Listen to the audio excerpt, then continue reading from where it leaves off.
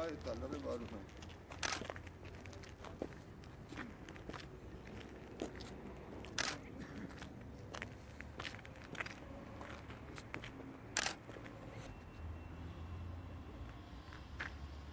Başlarıyla karnına tıklı tanı satış